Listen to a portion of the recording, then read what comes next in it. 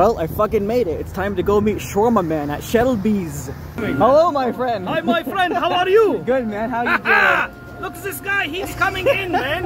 Can I get ketchup on my shawarma? My friend, I bring this for that. I love your videos, man. They're so Thank you so funny. much, my friend.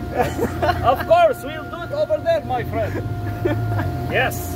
Okay. Hey, everybody, you better come get the shawarma. Don't bring the ketchup before I have the ship ship here in case.